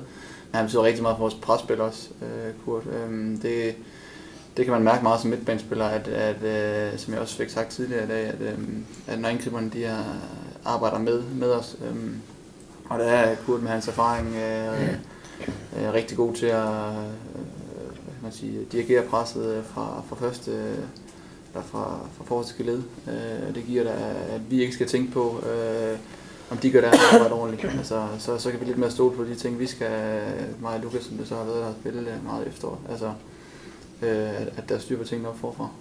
Godt. Lad os gå over til den øh, sidste mand i panelet, altså sidste runde, inden det er jer, der skal til at, at stille spørgsmål. Johnny, øh, du har haft øh, VFF-holdet i det her års, øh, halvårs tid. Hvad er der sket med holdet i det halvår, sådan, så, hvis du skal sætte det sådan lidt i overskrift for? Jamen, øh, men altså, holdet er blevet mere bevidst om øh, den måde, øh, jeg gerne vil, øh, vil spille på. Og øh, det gør, at jeg synes, vi har, jamen, vi har rykket os. Øh, jeg synes rent organisatorisk, der har Viborg altid været rigtig, rigtig stærkt. Og det, er, det har holdet indsat øh, fortsat med at være. Jeg synes, vi har, vi har fået større tro på egne evner til at gå ud og, og, og vise, at vi også øh, har noget at byde med ind offensivt. Og, øh, jamen så synes jeg, der er nogle spillere, som, øh, som har løftet, som, som at de kunne løfte så meget. Det, er, det synes jeg har været øh, fantastisk igennem, øh, igennem en halv sæson. Og øh, ja, det, øh, og så synes jeg, at folk de har fået et, øh, et positivt syn på, på Viborg, og mange har opfattet, at de, er, de er glade ved at have Viborg til, tilbage i, i Superligaen. Det er ikke noget med mig at gøre, men det er et eller andet generelt det, som klubben har fået skabt her gennem, gennem de sidste mange, mange år, som har været meget, meget positivt. Hvad var det for nogle ting, du gik ind og pinpointe og sagde, det er dem her, jeg skal rette ret hurtigt, hvis det her det skal lykkes? Jamen, der, jeg, jeg tror, det er meget, meget vigtigt, at, øh, at man er også i stand til at true modstanderen den anden vej. Og, øh, og det kan man gøre ved direkte spil, og, men også i perioder og, og være dygtig til at holde i bolden. For jeg tror, hvis man ikke er, hvis man ikke er dygtig til det i, i Superligaen, jamen, så kommer man under så stort pres, og man kommer til at løbe så meget efter bolden, at, øh, at på et eller andet tidspunkt, så kommer man til at lave en fejl, eller man kommer til at mange kræfter, der gør, at, øh, at det går galt i den anden ende. Så man er nødt til også at, at spille sine offensive kort ud og true modstanderne, så de også øh, får lov at, at løbe efter os. I andre, I oplevede det på, på, på nærmeste hold. Hvad var det, Johnny han kom med i sommer? Noget af det, jeg synes er aller, aller vigtigst, når man, når man lever af det, og man mødes hver dag, og man træner hver dag, og det er jo den øh, øh, træningskultur, der også er. Det er jo det, trænerteamet planlægger, men det at kunne gå for at grine, arbejde stenhårdt, grine stenhårdt i en træning, for det der er altså behov for, det er svært, men det kan lade sig gøre, fordi det er det, vi gør nu. Altså, der er, der er sjov blade, men når vi er på, så er vi fandme på. Og så kan man godt grine lidt igen, og så er vi på. Og det er sindssygt vigtigt, fordi at når vi ligger, hvor vi ligger, og nu har vi nu er det gået rigtig godt, men det så godt også, at vi tager flere kampe, end vi har gjort, så er det vigtigt, at man også kan grine, at vi har brug for, at det ikke bliver ned ad bakke, at vi ikke går og, og, og graver os selv ned. Så derfor er den træningskultur, der bliver sat, øh, sat i fra, fra trænerens side, er enormt vigtigt, og det er det der at kunne blande tingene hele tiden. Det er noget af det, jeg har været sådan mest øh, overrasket og imponeret over, som man kan sige det, det er, at øh, nu har jeg jo været med på, på siden i hvert fald nogle gange i Superligaen før, hvor vi, og jeg synes, vi har haft øh, rigtig store problemer, når vi har mødt de store hold, øh, og måske også haft alt for meget respekt og været, været decideret bange for, for at møde dem. Øh, så første gang, eller de, de gange, hvor vi har spillet over i parken, det har jeg ikke prøvet før, øh, så kan man godt være lidt shaky inden øh, første gang, man løber ind på stadion, men der har oplægget jo ved, at, at, at, at øh, vi har også noget at komme med. Øh, og vi faktisk skal gå efter at øh, kontrollere bolden endnu mere, end vi plejer normalt, fordi det vil frustrere dem øh, endnu mere. Det, det har givet en tro, specielt til mig, på at, at, at det, altså, man skal ikke bare, fordi det, det er et stærkt hold, man skal møde, og det er udebane, så så skal man ikke normalt, automatisk bare stille sig ned og, og frygte, at, at her tager vi 5-0 på forhånd, eller hvad, vi, hvad, vi, hvad, hvad man nu kan tænke. Øh, men tværtimod, hvordan kan man ramme dem, og der kan måske endda være fordel ved at spille øh, i parken, fordi så bliver de hurtigere frustreret, hvis man holder på bolden, eller et eller andet i den stil. Så det er noget af det, jeg har taget, som jeg synes, vi har, vi har øh, gjort rigtig meget øh, godt, at vi har troet på, at vi kunne spille op mod de, de, de stærke hold. Johnny, du havde en øh, plan, inden du startede om, at øh, Viborg skulle øh, være et etableret Superliga-hold, øh, også ændre sig spillemæssigt i, i udtrykket. Hvor langt er du nået med den plan? Jamen, jeg synes, vi er nået langt. Altså, og det er jo ikke, den, den der, den, øh, den, den, den stopper jo aldrig nogensinde. Altså, det, det gør den jo ikke. Altså, for hver, for hver halv sæson. Altså, der, man vil jo, man vil jo stræbe efter at blive, blive bedre hele tiden. Og, øh, og det, det, er jo det, det drejer sig om. Det er jo derfor, vi, vi løber og træner og elsker at komme ud og træne og komme ud og spille mod de bedste, hvor man bliver udfordret på, på højst niveau. Det, det, det stopper aldrig, det der. Hvor er det, du vil, øh, hvor, hvor du vil hen med det her hold? Hvor, hvor vil du hen med det? Jamen, hvis vi kan spille alle kampe, ligesom vi gjorde i Midtjylland, så ville jeg da være rigtig glad. Ikke også? Hvor, vi, øh, ja, hvor tingene går op i en højere enhed. Og det er jo øh, det, er jo det man, man stræber efter hele tiden. Og så ved man jo godt, der står en modstander, der, der vil nøjagtigt det samme. Og, øh, og så er det jo de der små mekanismer, der gør, at øh, kan vi være lidt dygtigere på, selvom nogle af dem de har måske lidt dyrespillende også, kan vi være dygtigere lige til at, at, at skrue på de der forskellige knapper, og der gør, at tingene de kan tippe over til vores fordel. Det, er jo, det er jo den der, man, man løber og søger hele tiden. Godt. Jamen, øh, det var, det var det, jeg havde at spørge efter. Øh, jeg går ud fra, at der er rigtig mange, der er trætte af at høre på mig nu. Så jeg håber, at øh, I kan komme øh, lidt på banen med nogle spørgsmål. Øh, og der er jo øh, åben fra, med, for skud. Kom med dem, og så skal jeg prøve at sådan styre det bedst muligt, sådan at vi, vi gør det. Og vi har sådan det, der svarer til cirka 35 minutter eller sådan noget den stil, så, så giver vi fri. Kom bare. Jeg hedder Jens Christian Lund. Jeg er syg nu. Det kan nok se, men det er ligegyldigt. Det I skal vide, det er, når I taber, så risikerer jeg at dø hver gang. Det betyder meget for mig, at I vinder. Men I må gøre alt, I kan for at vinde. Jeg har nogle spørgsmål. Jeg, øh, Viborg er jo den klub, som jeg kender, der har haft de bedste målscorer. De fire bedste målscorer, der overhovedet har været i Danmark, de er spillet i, i Viborg. Hvorfor kan I ikke score nogle flere? Det kunne jo ned i herren, at vi vandt 4-2.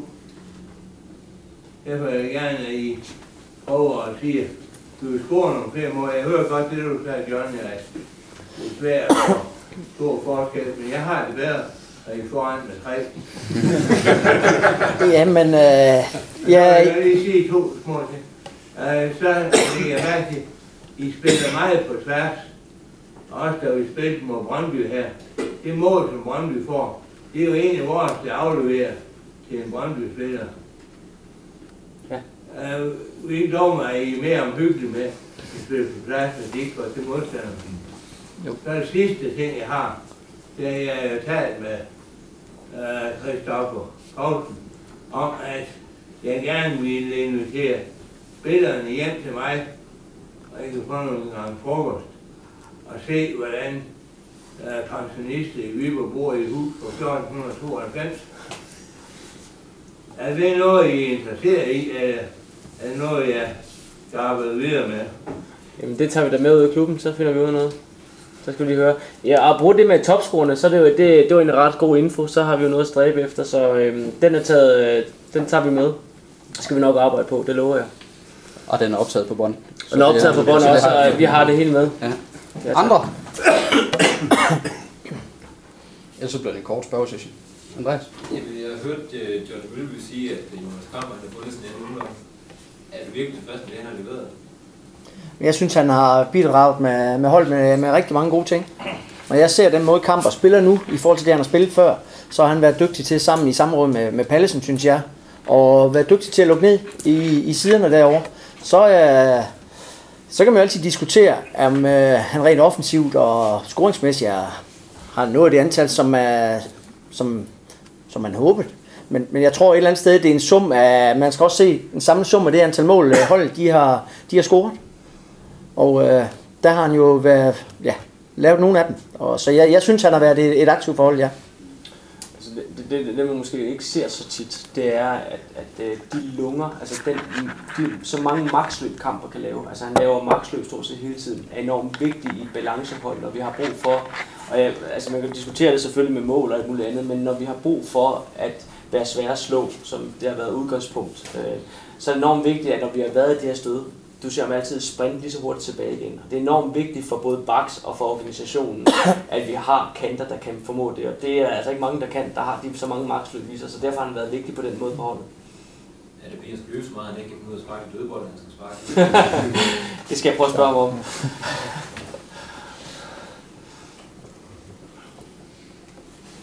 Øh, I en periode der havde vi no- nogle dårlige øh, oplevelser omkring øh, advarsler, altså dumme advarsler, Altså, som øh, synes jeg præger holdet en, en, stor del. af det tema, man har taget op, øh, så man undgår det på længere sigt at få de her advarsler, dermed karantæner og dermed igen øh, blokeringer på holdet? Øh. Jamen det er, altså hvis der er nogen, der får nogle dumme gule kort, som er helt unødvendige, jamen så er der ingen tvivl om, at så er det noget, vi, vi, vi påpeger over for, over, over for truppen. Jeg synes ikke, det har været et, et, et kæmpe tema for os. Altså jeg tror, hvad har, vi har haft meget, meget få kan, karantænedage. Ja, ja, men vi har haft meget, meget få... Øh, ja, det- det, ved jeg ikke, men altså jeg synes generelt, den her sæson, det er ikke noget, som har været... Altså, det er klart, dem der, hvis man tager bolden og sparker den væk og alle de der ting, det, det, det synes jeg, vi har været, været for. Og vi har heller ikke haft... Øh, det er vel kun det blev, som har været, øh, været hårdt ramt.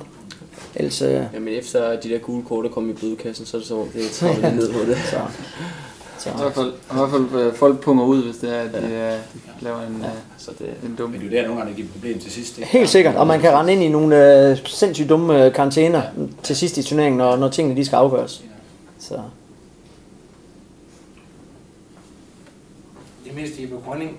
Øh, karrieren, du sagde måske gerne videre. Er det i Viborg, eller vil du skifte Midtjylland? Nej, jeg skal ikke, øh, jeg skal ikke skifte til Midtjylland, nej. Øh, og det er heller ikke sådan, at øh, nu bliver jeg fanget lidt på spørgsmålet. Jeg tænker på, at jeg skal videre, videre nu. Altså, Ja, øh, men hvis, du kommer, hvis de kommer en dag. så vil jeg nok øh, ikke, øh, ikke snakke for meget med dem, nej.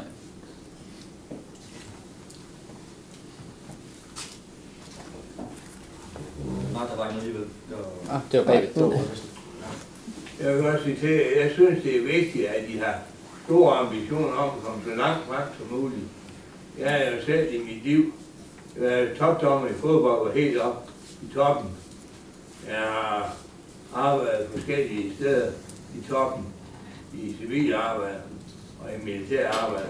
Jeg tror ikke, jeg har nogle særlig store evner, men jeg har hele tiden sagt, at det er sjovt at være på toppen, end at være i bunden. Hvis I prøver at sige til jer at I vil gerne højere op, så tror jeg, I er kommet. Og så har jeg det bedre, når I vinder.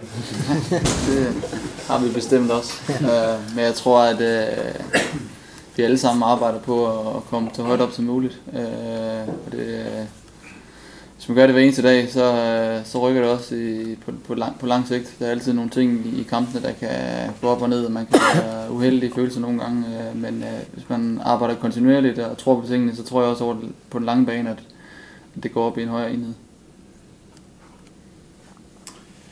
Ja, det er jo sådan lige uh, Brøndby-kampen i, i søndags. Altså, hvilken følelse har du med, at Johnny sådan har spillet en fantastisk flot første halvleg? Uh, og spillet stort set lige så skidt anden halvleg. Altså, nu tænker på her til på søndag. Spiller rent faktisk en flot første halvleg. Ja, jamen det er jeg ikke bekymret for. Altså jeg har, nu har jeg sgu været med så mange år efterhånden, at uh, både som spiller og det der, at uh, ja, nej, det bekymrer mig ikke. Jeg var rigtig glad ved den uh, første halvleg, så uh, har jeg også efterfølgende udtalt over for spillerne, at det, jeg ikke var tilfreds med anden halvleg. Men jeg tror ikke, at det har nogen indflydelse på, hvordan vores præstation den bliver på søndag. Om vi har spillet uh, to dårlige halvleg, eller om vi har spillet to super halvleg. Altså så jeg er slet ikke i tvivl om, at uh, folk er klar til på søndag, når det, når det går løs. Så men selvfølgelig vil man altid helst have det, det spiller, en fornemmelse, men Jamen, det er egentlig, i. altså, øh, det er ikke det, der står ud. Vi er bare altså, hammerende irriteret over, at, øh, at der er sådan noget. Så det er jo sådan nogle, altså, som spiller, øh, og det er, jo, det, er jo, det er jo sjov mekanisme, ikke? fordi at vi kan godt gå ud og vundet, faktisk spille en dårlig kamp, og der kan man være skide irriteret. Man ved godt, det er pointene, der er vigtigt, men man kan være skide irriteret over, at man som hold ikke har præsteret. Det er jo tit det, som rykker på. Og så kan man nogle gange tabe, og så sige, okay, det var ærgerligt, ikke fik point, men hvor var vi gode? Altså, vi, vi har bygget på her. Det, det tegner godt, ikke? Så det er, jo, det er jo en mærkelig verden der, men efter sådan nogle ting, det, altså, vi er meget selvkritiske, og det er jo også derfor, at, at vi er nået der, hvor vi er nået et eller andet sted, som, både som individer og som hold, det er jo fordi, at vi er selv, øh, vi vil hele tiden forvente højere øh, præstationer, ikke? Øhm, Så øh, det er bare, det er irriterende, men det er ikke noget, der kommer til at påvirke. Og jeg tænker med det boost, I har fået ved at set spille Brøndby ud af banen i første halvleg. Jo, jo, Det var rigtig, rigtig rart at have øh, søndag. Men så der er nogle mekanismer, der gør faktisk, og det, det vil vi komme på, men der gør, at det så ikke fungerer. Det er jo så rart at blive bevidst om det, så man egentlig kan tage det med og sige, der, og så skal vi sørge for, at vi ikke spiller med de mekanismer øh, mod, øh, mod Nordsjælland. Ikke? Ja. Øh, det var apropos kampen i, mod Brøndby også, som jeg var oppe og kigge på. Og der var vi kommet med, at de spillede en rigtig god første halvleg og en rigtig dårlig anden halvleg. Men jeg tror da i hvert fald, og det kommer så i mit indlæg bagefter, at det bliver jo tydeligt at se, at der blev uro på holdet ved, at man skiftede Mikkel Rask og Reze ud. De styrer fuldstændig kampen lige bagved. Og jeg vil spørge Mølby om, at det har noget at gøre med, synes jeg, at der var så meget uro dernede. Thorsen og Iris ville sige, det var rigtig skidt sammen. Og derfor tror jeg, at jeg noget, hvor lidt, jeg har lidt ret i det. Så Abberbanen, der er sket for mange fejl i det bagerste led, og så bliver midtbanen presset, og så kører det i hus. Har jeg lidt ret i det? Jamen jeg er da enig i, hvad- at, de spillede en rigtig, rigtig fin øh, første halvleg, de her to. Men der er heller ingen tvivl om, at Rask han har, han har haft nogle problemer og, og været, øh, øh, ja, haft en, en opstart, som, som, ja, som jeg ville ønske, den, havde, den havde været anderledes. Og, og det er vigtigt, han skulle... Alt opstart her for mig, det er en forberedelse til det, der skal ske på søndag. Altså, og Reza har været skadet stykke 10, og jeg, jeg turde ikke tage nogen chance med dem. Hvis jeg havde ladet dem spille igennem 90 minutter, så var det ikke sikkert, at de kunne spille nogen af dem på søndag. Og det er det, er det, det drejer sig om for mig. Og så får man også se nogle andre ting, og man får ligegyldigt hvad, så får man altid nogle svar på nogle, på nogle ting. Ja. ja derfor nok godt nok de to kom ind, for det fungerer i hvert fald slet ikke. Det må du ikke, det må du ikke prøve igen. det må jeg love. Så har, ja, apropos så er forsvarsmæssigt, som I har været meget inde på, at det er ret vigtigt at ikke gå noget mål ind. Det er så lige, det er så lige til. Derfor har jeg et spørgsmål om, øh, om jeg får svar på det. ved Nu er der ingen sportsdirektør til stede. Vi har haft Mikkel Rask, som øh, arbejder i årene, og som jeg tror, vi har set de år, vi har været i hvor at han spiller jo ikke alle kampen. Hans lægen kan ikke holde til, jeg tror, det ligner ligesom Marker i Brøndby, det kan han jo heller ikke, han er ude anden gang. Derudover så har man haft hollænderen, som også var skadet helt fra efteråret af. Og så kan det undre mig, og jeg gerne få, man kan få et svar på det. Nu er jeg ikke, man kan udtale det rigtigt, Babajide. Det synes jeg undrer mig og adskillige omkring holdet. Hvorfor man ikke beholdt ham som i hvert fald som en sikkerhedsnål. Han er en af de bedste stopper, der har været hernede. Og derudover, det, det kan undre mig. Og så ved jeg ikke, man kan få grunden til, Øh, For jeg har i hvert fald hørt igennem vandrørene, at han vil gerne blive her, Bergine. Og, øh, men der var, nu var sportsdirektøren rejst, og det skam han ikke er, for jeg har også hørt i vandrørene, at det var Ole Nielsen, der ikke ville have ham. Men jeg synes bare, det er ærgerligt, når man nu ved, at man har så store problemer i det bæreste forsvar, med skader og så videre, at man ikke beholdt ham. Det var sådan, og så får lige en krøl på det, og så derudover, så har man leveret ham til Hobro, der er vores, en af vores modstander i bunden. Det undrer også mig, om man ikke kunne have blokeret for det, der. så fandme der beholdt Bagil, så givet ham en ekstra skilling for det, som ikke afleverer ham dernede til. Men det vil jo vise, hvordan det ender. Jamen det kan jeg da godt svare på. Altså, jamen altså, man skal jo sætte en trup sammen. Hvordan, øh, og på det tidspunkt, da den øh, beslutning den blev taget, jamen der var der, der, var der Feldmarse, der var Rask, der var Eris, og der var Ræse. Det var fire midtstopper til, til to positioner. Så har vi Thorsen, som, øh, som kan spille derinde, og vi har en grønning. Så et eller andet sted, så har vi seks spillere i vores trup, der kan, der kan løse det. Og det er jo en beslutning, man, øh, jamen, man tager, for at også få midler til at øh, for eksempel at forlænge med en Osama Akaras, som også er, tingene de skal jo de skal hænge sammen. Og det der med, at han smutter til Hobro, at der må jeg sige, der har jeg det sådan, at øh, hvis man vælger, vi som klub, ikke at forlænge med en spiller, jamen så skal, i min verden, vi skal jo ikke forlænge, for at de ikke må spille andre steder. Altså hvis, hvis vi har taget en beslutning som, spil, som trup og klub, at vi ikke vil forlænge med den spiller der, hvor han så vælger at spille hen, og hvad er mulighederne, jamen det, det er bare min. Det er, fordi så skal vi aldrig lade nogen gå jo, hvis vi begynder at få, få det dårligt og sådan noget der. Så, så han spiller derovre. Det, øh, det, det kan kun tiden vise, men, men vi har taget en beslutning, at vi hellere vil noget andet. Og så har du selvfølgelig ret i, og, om du synes, det er rigtigt eller forkert. Det vil jeg dig øh, bestemme. Spørgsmålet går også lige så meget på, at jeg synes, man har så mange skader dernede. Og man er og jeg synes, vi er sårbare dernede, hvis øh, vi vil ikke holder, og nu har Reseval bryder hans skade op igen og så videre. Så ved jeg godt, du siger, så kan, så kan Grønning spille inde i, inde i midten, men han er jo suveræn på midtbanen. Det var i hvert fald synd. Jeg har set ham spille en træningskamp, hvor han også spille ned i midterforsvar. Det gjorde han fantastisk også, for han, han er en, en rigtig god spiller. Men det var været hammerende synd at flytte ham af fra midtbanen. Så. Så sagde, vi havde seks. Vi har måske to eller tre til at bygge rundt med. Det spiller faktisk også under kendt. Ja, det kommer så ikke til. Derfor jeg synes, det var skam, at man ikke havde... Ja, ja. Men det er jo, det er jo din mening, og, og, vi, og vi har valgt en, en anden øh, ud fra, fra klubben af. Og, ja. øh, Nu sagde du det der med, at vi skal være svære og spille imod. Og det lyder sådan lidt, øh, sådan lidt kedeligt. Kan vi vente noget sådan sprudlende fodbold øh, på sigt i hvert fald? Jamen, synes du, når vi spiller over i parken, når vi spiller ude i Midtjylland, når vi spiller hjemme i OB, synes, du, det er, ked, synes synes du, det er kedeligt? Nej, overhovedet ikke. Det Nej, var nemlig altså-. Ja. Og det, det, altså, man skal huske på hele tiden, at der er en modstander på den anden side, som også har en masse ting at sige. Jeg synes, der har været to kampe i den her halve sæson, hvor jeg siger, jamen dem var jeg, dem, dem brød jeg mig simpelthen ikke om. Og det var Sønderjyske dernede, og så var det Nordsjælland hjemme. De to kampe, der synes jeg ikke, vi rammer i nærheden af, af det, som vi ønsker, og jeg synes heller ikke, vi var i nærheden af at få point, selvom kampene de var tæt. Og så, hvor vi godt have mulighed for at få point i begge to, men, men jeg står med den fornemmelse der, at det var, der var vi ikke tilfredse med det, vi- vi præsterede. Omvendt, da vi taber ned i OB, jamen der føler jeg, at der tog holdet form for alvor ned. At øh, derefter, der havde folk en opfattelse af, nu er vi altså på rette vej. Og det er jo tit det der, det er små ting, der, der, der gør det. Og det er svært at lige præcis, hvad det er, men det er jo en eller anden fornemmelse med, man står som træner, og det gør truppen også inde i, inde i maven. Jeg vil rigtig gerne spille, øh, men- men jeg har det også sådan, at øh, det drejer sig om pointene. Og det er, vi ligger en taktik med efter, at vi ja, skal have så mange point som overhovedet muligt. Og så vil vi gerne spille offensivt og underholdende. Men, øh, men vi er også godt klar over, at hvis vi går ud og åbner posen, og de andre laver tre mål med os, så forudsætningen for, at vi får, vi får point den dag, den er, den, den er ikke ret god.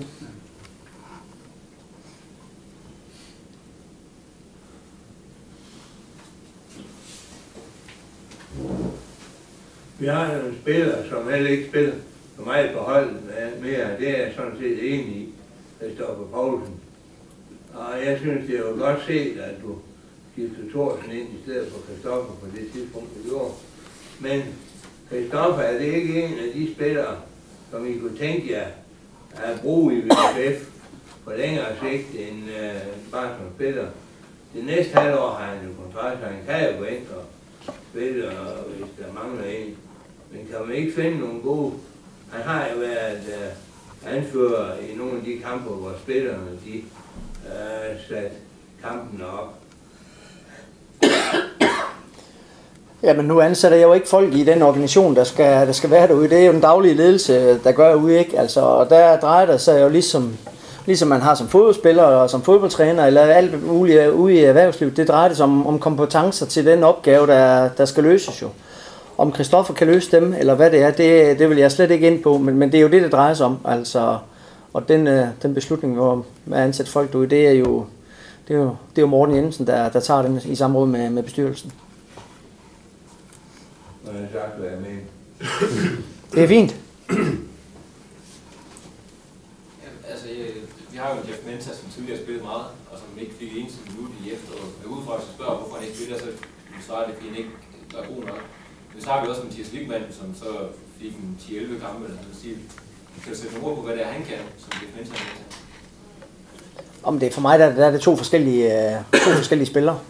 Altså, hvor, jamen altså, Jeff er, er en ung spiller, og, øh, og øh, havde en, øh, en halv sæson, som han øh, som selvfølgelig ikke ramte op på, på det, han ønskede. Og, øh, og det gjorde også, at han mistede lidt humør til, til træning, og, øh, og var ikke i den øh, træningsforfatning, som, øh, som der gør, at man kan stille krav på at, at få minutter. Og det har, må man sige, at her har han, øh, han har taget skeen i den anden hånd, og, øh, og, og ligner en helt anden spiller nu, hvor han har tabt rigtig mange kilo og har en helt anden fitness, end, end han havde det. Og det er jo en vigtig forudsætning for, at, øh, at når man ikke spiller, at, øh, at det er noget af det, man kan gøre noget ved. Og øh, Mathias Wigman, jamen, øh, jeg synes jo, han har rent fodboldmæssigt og rent teknisk nogle, nogle, nogle, nogle egenskaber, som hvis vi kan få sat det i spil, så er det på meget, meget højt Superliga-niveau. Og det er helt sikkert, det har vi ikke øh, fået sat nok i scenen, og det, øh, det kan vi øh, have en del af, men, men det tror jeg også selv, han, øh, han er bevidst om, at, øh, at der skal lægges noget mere i, i det. Og det, det synes jeg, han har gjort, og jeg synes, vi har fået at se en, en anden Mathias Wigman i, her i den her opstart, der gør, at, øh, at jeg tror også, han øh, i den her halv sæson vil, øh, vil øh, være i stand til at, at være medvirkende til at, til at skaffe nogle, nogle point til, det, til vores trup. Øh, Der er kommet en ny spiller til øh, i pausen, en amerikaner. Jeg er lidt usikker på, hans, øh, på udtalen af hans øh, navn. Øh, Vi kalder han ham George. Vi kalder ham George. Ja, han øh, blev betegnet som meget stærk. Øh, Bliver han aktuel her i foråret, eller er det på længere sigt? Nå, men der er ingen tvivl. Han er, vi har lavet en øh, længerevarende aftale med ham, og han har et, et stort potentiale, synes vi. Men øh, rent fysisk, løbemæssigt, der er han, øh, der er en stykke efter de andre. Men øh, når vi får forhåbentlig inden kort tid får, for, det, får hans niveau op på samme niveau som, øh, som resten af truppen, jamen så vil han være en spiller, der vil, der vil presse sig på, og det vil han allerede i løbet af, af foråret her.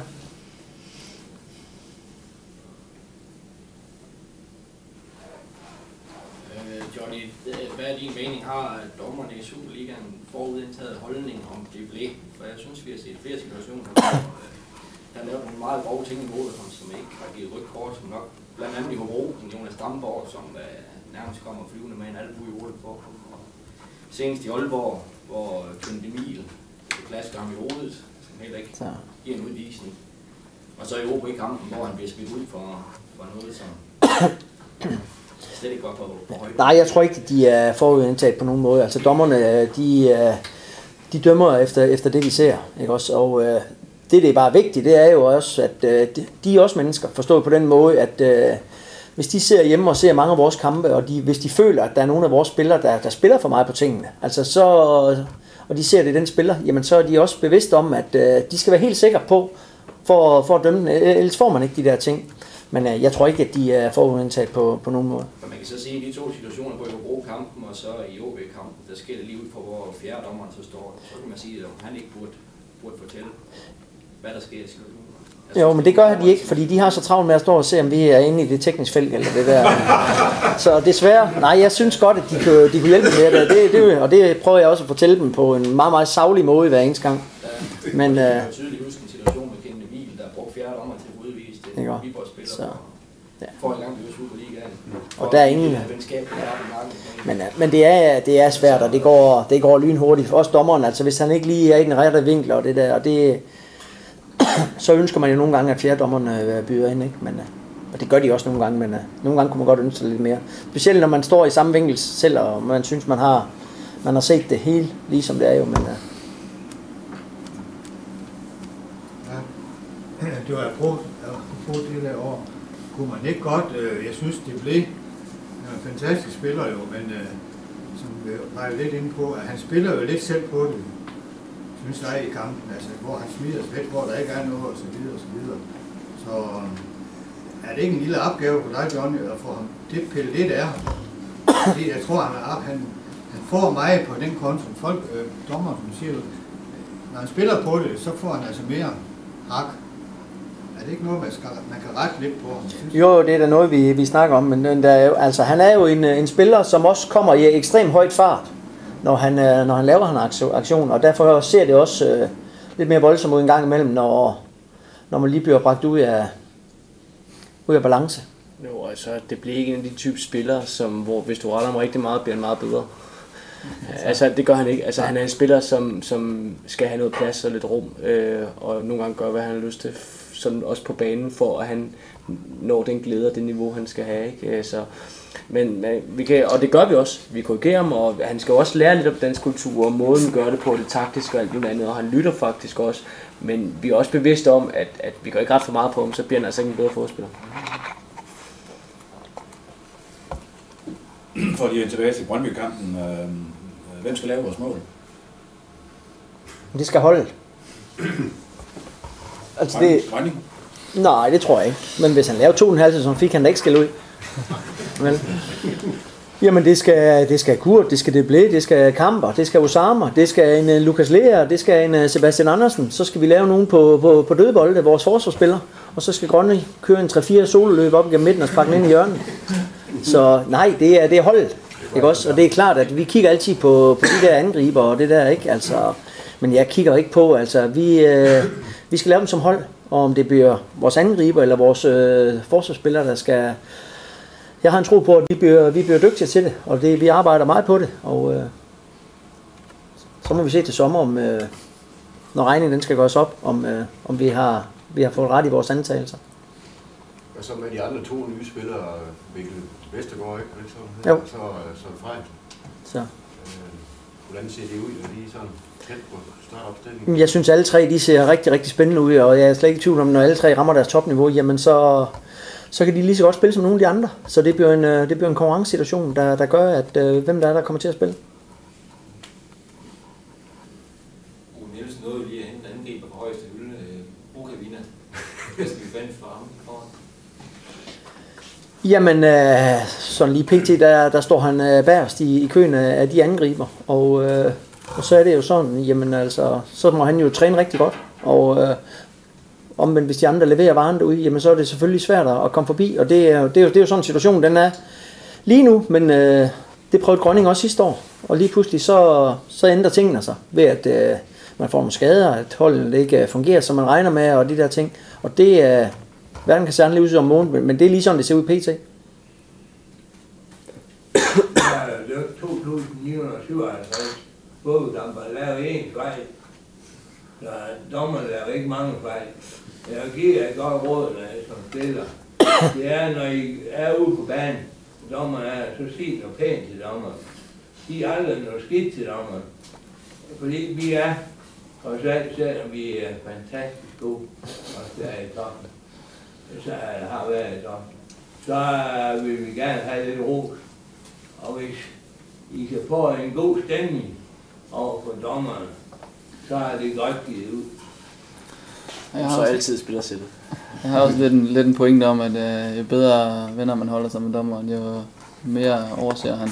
Der er ikke, der er ikke grund til, at når man, når man gerne vil gå lidt, gå lidt til den, så er der ingen grund til at få de dumme, de dumme kort. Dem, øh, dem skal man bruge på nogle andre ting.